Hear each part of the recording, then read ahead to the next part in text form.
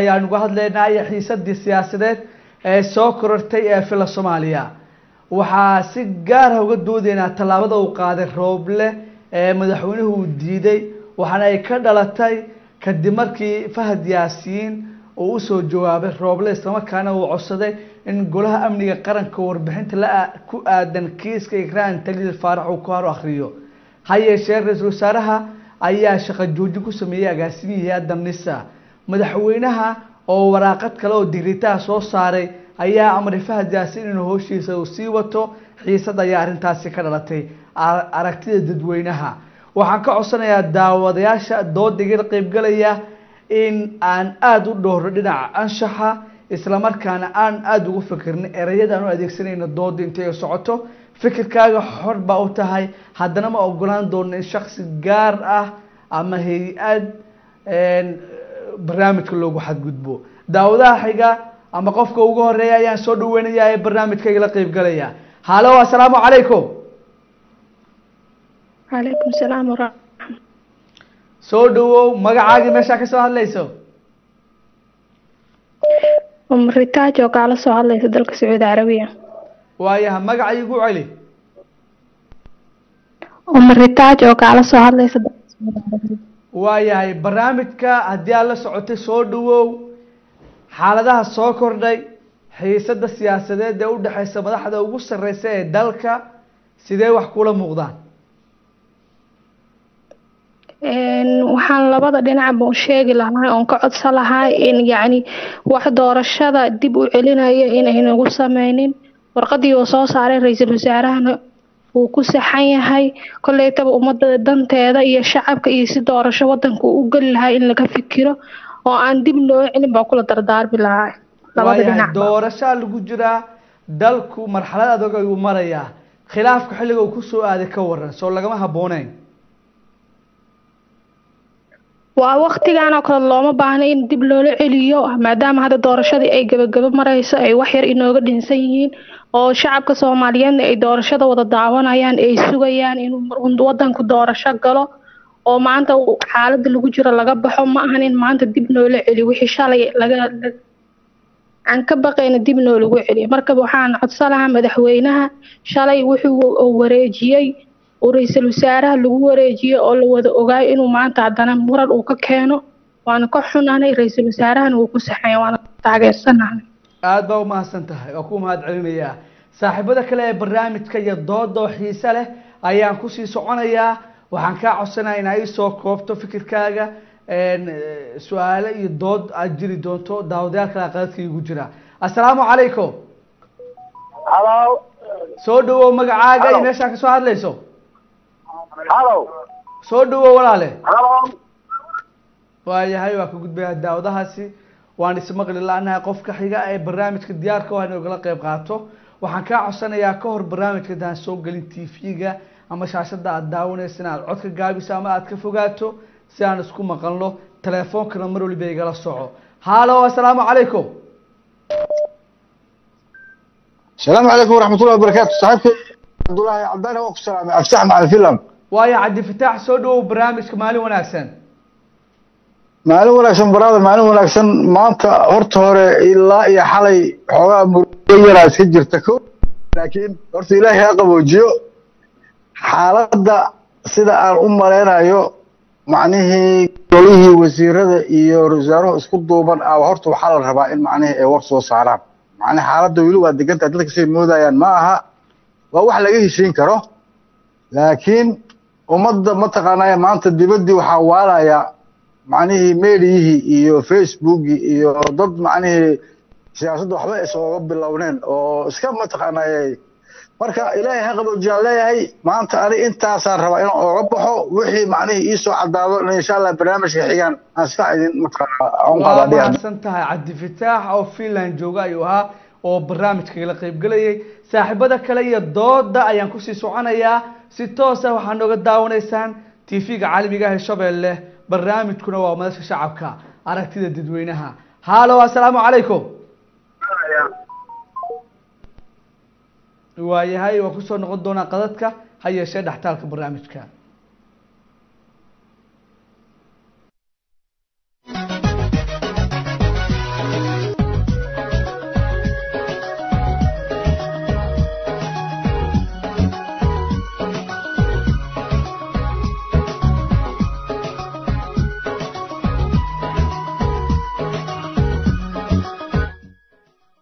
aad weli daawanaysaan barnaamijku waa madasha shacabka dadweynaha iyo telefoonada. Halo asalaamu calaykum. Waalaykum salaam waraxmatullah walaal soo dhawow magacaaga iyo meeshaa ka soo hadlayso? Magacayga cali waaye waa ninka dhalinyarada ee poland kaga soo hadlay ma garat waayaha cali saaxiibka barnaamijkaa tahay soo dhawow fila soomaaliya siyaasadii baa sii qaraxday xiisad baa timid madaxweynihii iyo ra'iisul wasaarihii ayaa isku dhegan iyo hogaankii nisa aragtidaada soo dhawow. Aad u mahadsan tahay niyo anaa ka faa'iidaysanaya fursadeeda horta hay'adda nabad sugidda waa qayb ka mid a dowladda. Maamulkana niyo horta farmaajo maalin cad madaxweynaha waddanka wuxuu ku wareejiyey ra'iisul wasaaraha waddanka. Ma garatay? Hadday tahay amni iyo hadday tahay doorasho. Fahad yaasiin warqadda uu soo tuuray dee yar iyo nin weynba iyo nin yarba. Waa laga warqabaa ma garatay waa gartay. Warqadan uu fahad soo tuurana ma soo tuuri lahayna waxaa keentay afartan iyo sideedii saac oo loo qabtay waddanka ninkan fahad yaasiina ma gartay. Anigu waxaan ra'yi ahaan ka qabaa horta hawsha iyo doorashada waxaa wada ra'iisul wasaaraha farmaajona saq dhexe xalay toban saac fila soomaaliya waxaa ka soo baxda warqad wiifta kale ma garat meeshu waxay kaaga caddahay aniga fikrad ahaanteeda waxay iiga caddahay nin yahow in fahad yaasiin iyo farmaajo madaxweynaha waqtiga ka dhammaaday in horta hawshaan ay iska warqabaan ma garat doorasha hala qabtaa leeda doorasha maxaa farmaajo isagaa madaxweyne kaha dalka rooble waa mas'uulkii ugu sarreeyay ee doorashooyinka. Haddana khilaafkan labada dhinac waa saameynayaa soo maahan go'aanka marka la eego haa qasab. Doorasha horta maya. Doorasha hadda waxay bataa ka daranba. Maama ooynaysa niyo hooyo wax dhashay baa ooynaysa in la xaliyaa loo baahan yahay. War gabadhi saasay ku dhimatay qaabkaasay u dhimatay meydki waa kanaa waa dhimatay macnaha ma weligeedba lama dhicin meyd lama arkin. Ya ya- ma ayaa ku tukaday macnaha. Lama rabo. Waxaa la rabaa meydki waa kanaa gabadhi xaaladaana ku dhimatay warbixintan shabaab baa lagu waayahay waa leeyahay mahadsan taha cali. Cali oo Poland jooga ayuu ahaa oo barnaamijka igala qayb sida wacan u qaada dhiga dooda waa ku mahadsan yahay saaxiibka kale ee barnaamijka. Assalaamu calaykum. Wacalaykum asalaam waraxmatullahi wabarakaatu cabdullahi cismaan cadaani waa cabdullahi cali kaala hadlayo degmada hodan. Waayaha cabdullaahiyo dhiidhin ayay mareysaa doorashaduna meel xasaasi ah xiisadna waa ay qaraxday. Soo dhawow saaxiib adoo isoo koobaya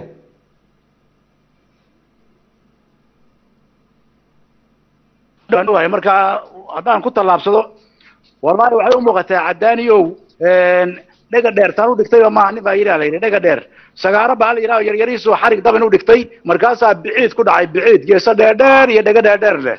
Markaasuu u yimid kuma xisaabtamin inuu kii hiri badan yahay ilaa hiri bay ahayd ujeedadu yahay. Xarigiibu inta ka furo yidhi iga tago yidhi dhega dheer taan u dhigtay ma tiide noocan u dhigtay. Waa ka weynaatay. Marka horta waxaan u dhiganay maaha annagu xilligaani khilaafka noocaasi waxaan u dhiganay ma ahan.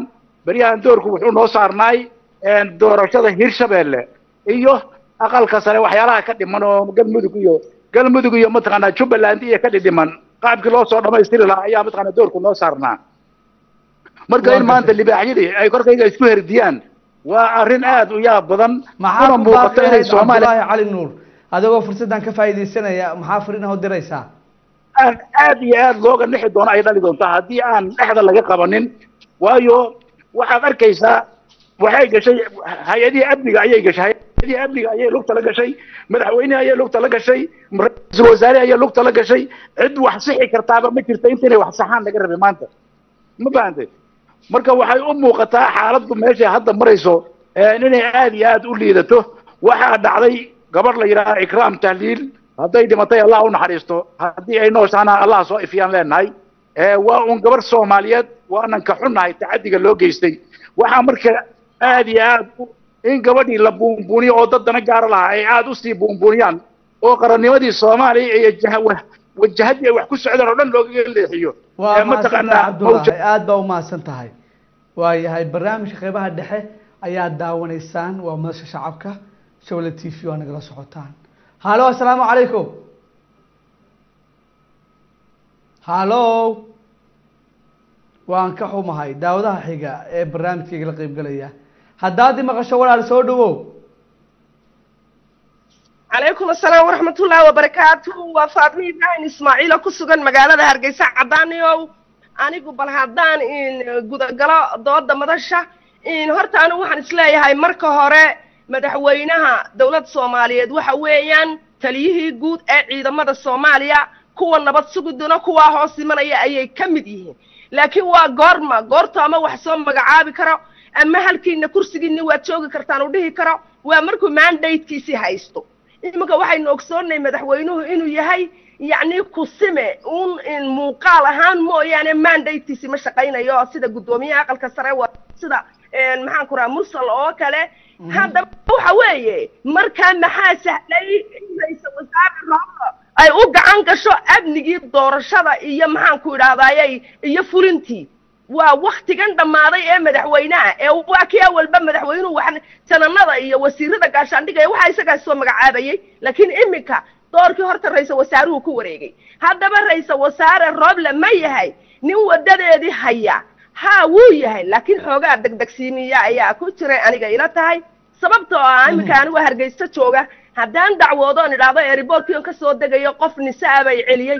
Qofkii isagoo hubsan buu deg deg u bedelaya waa wixii arrintii hore keenay kabacdina aniga marka daraaday qofkii loo bedelay madaxweynihiina wuxuu isu haystaa weli inuu mandatekiisi ku shaqaynayo qofkiibuu shaqo gelinaya waa marka labaade arrintii haddana waxaa la isku sii sheegay maxaan ku nairobi uu ra'iisul faaduma marka talo maxaa soo jeedin lahayd? Dalku badbaado u baahan yahay doorasho iyo xilli kala guuraha lagu jiraa.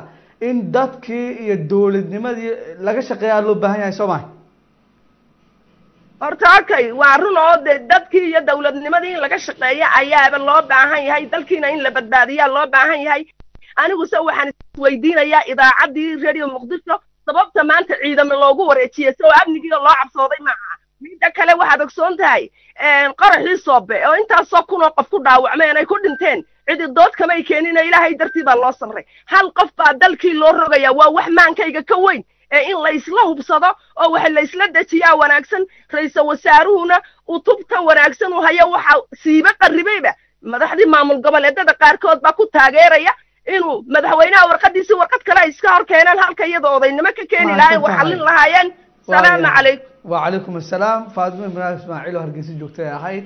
Qeybaha kale ee barnaamijka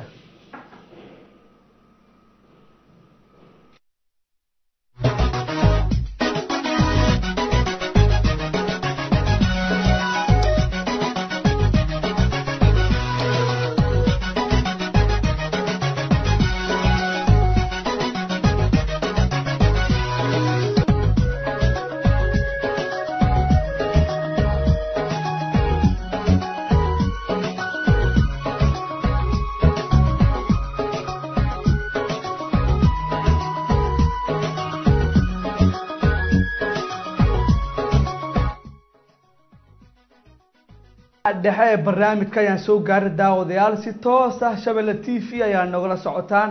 Qadadka iyo dooda ayaan ku sii soconayaa xiisa leh. Halo asalaamu calaykum. Wacalaykum salaam waraxmatullaahi wabarakaatu walaal. Soo dhawo walaalkay magacaaga iyo meesha aad joogto? Ha magacaygu waa fu-aad waxaan ka soo hadlayaa sweden. Waaya fu-aad barnaamijka hore ugal ha ah, marka walaalkii barnaamijka haddaan hore ugalo waxay tahay roble ra'iisul wasaare roble wuxuu mataqaanaa qaaday tallaabo ku habboon maadaama amnigii shaki uu soo galay marka amnigii in wax laga bedelo wuxuuna siiyey waktiguu siiyey afartan iyo sideed saacadood si uu mataqaanaaye uu warbixin buuxdo uga soo gudbiyo. Hadduu warbixintii ka soo gudbin waktigiin uu dhamaado ninka hadda qaranka amnigiisa iyo doorashada mataqaanaa intaba mas'uulka ka ah? Waa isaga. Waa gartay. Maxaa ku talin ma maqashaa? Marka? aad baan ku maqlaa fu-aad ha marka waxa uu sameeyey shaqo joojin laakiin xil totally uu bedelay ma jirto kow. Wuxuu magacaabay mataqaanaa magacaabis ku meel gaar ah laakiin ma aha mid oo permanent ah oo joogto ah haye. Si mataqaanaa gabadhaas kiiskeeda looga xalgaaro. Marka madaxweynaha farmaajo waxaan u arkaa inuu mataqaanaa liddi ku noqdo uu ka hor imaado ra'iisul wasaare laakiin fa-aado marka la- eego caaso- xiisadan waxaa la isku hayaa ra'iisul wasaaruhu sharci iyo xaq ma u leeyahay in taliyihii nabadgudda xilka uu ka qaado. Mise madaxweynihii ayaa dastuurkii sharci baa la isku hayaa marka la eego haddane doodu haa dastuurka iyo sharciga waxay tahay shalay toole fahad yaasiin waxaa magacaabay kheyre ra'iisul wasaare kheyre magacaabay xafiiska ra'isul wasaaraha laga soo magacaabay iyo golihii wasiirada loo fadhiyay dabcan. iyo gole wasiirada haa marka hadda magacaawis oo ma ahan oo loo dhan yahay magacaawista cusub ee la magacaabay mataqaanaaye taliya goobe ee waa mid ku meel gaar ah si xal looga gaaro kiiskan iyo arrimaha mahadsan shakiga saameeyey ee niise ka socoto. Waaya fu-aad waa ku mahad celinayaa saaxiibo kalaa qadadka igu jira dooda waan isgaarsiin doonaa ilaa barnaamijka qeybihiisa dambe. Qadadka xiga assalaamu calaykum. Haa walaale codkaaga sare u qaad magacaagi meesha aad joogtay igu bilaab waa maxamed yaasiin sheekh axmed jar jarman baa jooga maxamed yaasiin soo dhawow dooda hore ugal haddii aad la socotay mawduuca. Maxaa dhahday barnaamij hore ugal maxamed. Waa la socda si fiican si fiican. Maxaa nagu soo beeri lahayd marka? Eh, aniga horta ahaa ninkii ahaa oo la dhahayo oo farmaajo horta farmaajo meesha wax kuma haayo ma fahamtay haye ma garat waa gartay. Marka maxaa ku baaqi lahayd? Xiisad baa soo korortay iyadoo doorasho iyo marxalad adag oo kala gura lagu jiro dabcan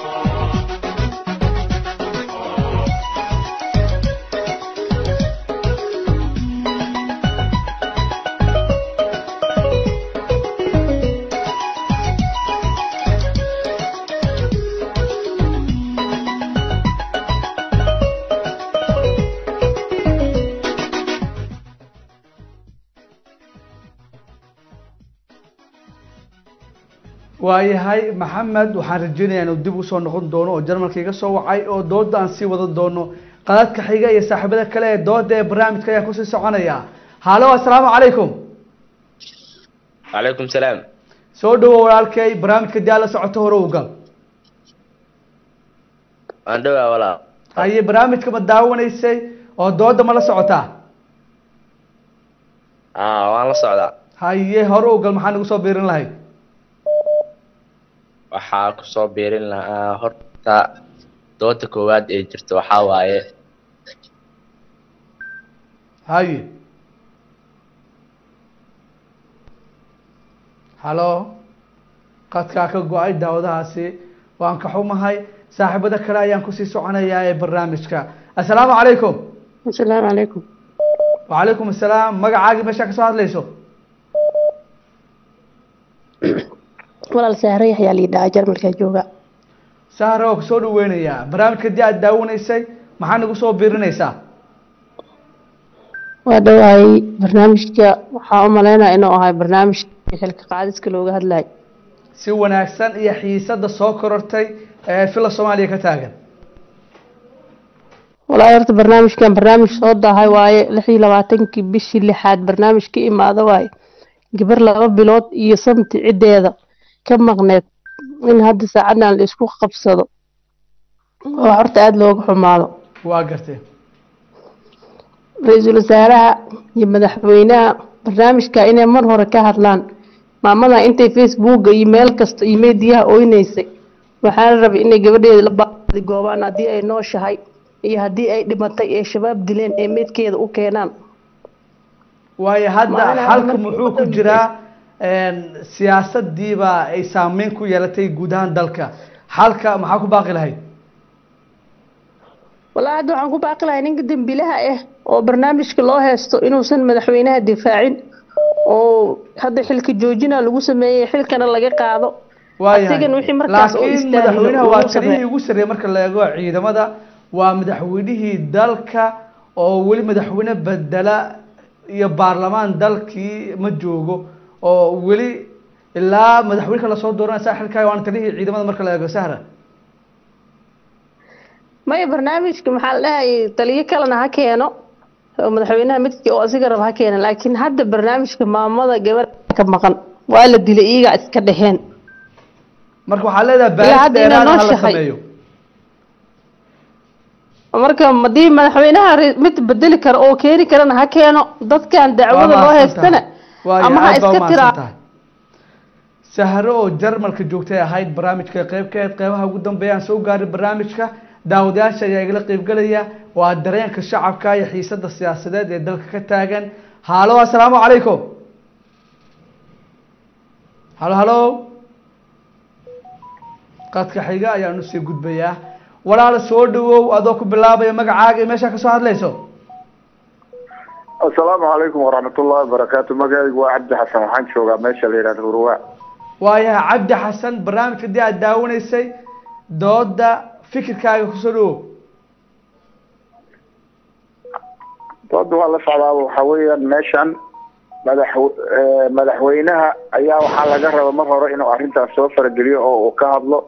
Marka aamustaantiisu shaki badan ayay ummadda ku abuurtay maadaama uu ka aamusay hadda ma ahin nin dambiilaha inuu difaaco. Saasay ummadda soomaaliyeed ula muuqataa waayahay uma hayno.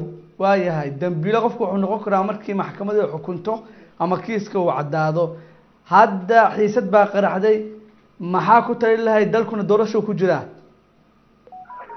xalku wuxuu ku jiraa ummadda soomaaliyeed macal gobollada meel walba waxaa laga taageeray ka- xilka qaadista ra'iisul wasaaraha.